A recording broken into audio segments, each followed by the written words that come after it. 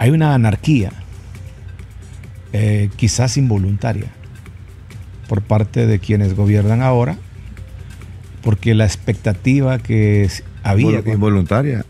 Sí, yo creo que es involuntaria, porque a veces lo que haces por ignorancia es involuntario.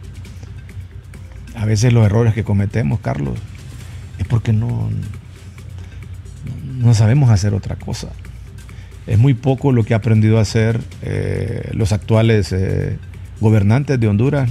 No tienen mucha, eh, mucha sabiduría sobre lo que en verdad el país necesita en este, en este preciso momento para salir adelante, para sacar a, buen, a, buen descampado las situaciones del país, porque el país está listo. Hace mucho tiempo que Honduras está listo.